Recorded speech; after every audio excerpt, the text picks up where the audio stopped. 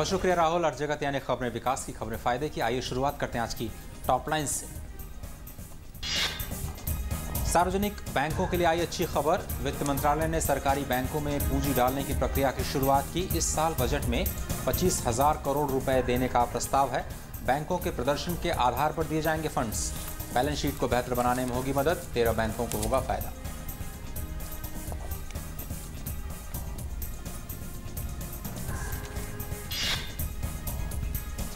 मुंबई की आर्थिक अपराध शाखा ने फाइनेंशियल टेक्नोलॉजीज़ के 2000 करोड़ रुपए की परिसंपत्तियों को किया अटैच बीते हफ़्ते ही कंपनी के मालिक जिग्नेश शाह को एनफोर्समेंट डायरेक्टरेट ने किया था गिरफ़्तार।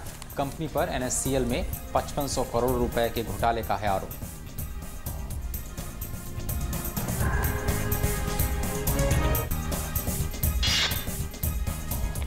इन्फोसिस और टीसीएस के बाद जून तिमाही में आईटी दिग्गज कंपनी विप्रो के नतीजों ने भी किया निराश। कंपनी के शुद्ध मुनाफे में 6 फ़ीसदी की गिरावट।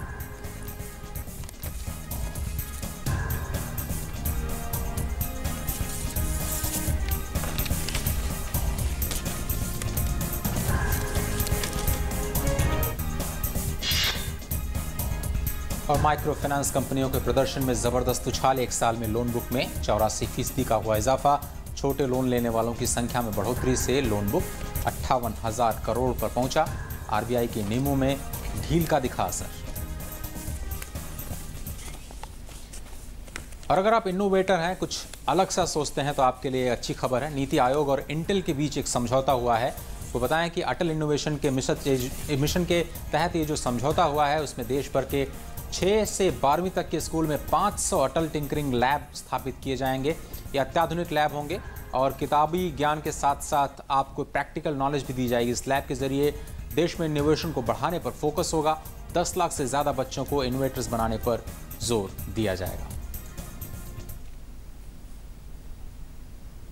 If India is to grow at rates of 9 to 10 percent over the next three decades, India must become a very, very innovative society and our total factor productivity must rise very sharply.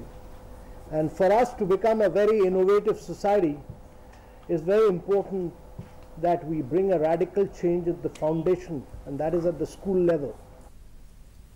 और अब दुनिया भर के बाज़ारों की बात कर लेते हैं शुरुआत करते हैं अमेरिकी बाज़ारों से और कल कैसे बंद हुए अमेरिकी बाज़ार आपको बताते हैं मिला जुला रुख जो है वो बाज़ारों का देखने को मिला डाउजेंस ऊपर तेईस अंक S N P five hundred तीन अंक नीचे और नेस्टैक उन्नीस अंक नीचे अगर बात करें यूरोपियन बाज़ारों की तो वहाँ भी कुछ ऐसा ही रुख दिखाई दिया लेकिन यूरो जोन में जो मुश्किलें हैं वो थमने का नाम नहीं ले रही हैं। एफटीएससी में आ, मामूली बढ़त ऑलमोस्ट फ्लैट दो परसेंट ऊपर।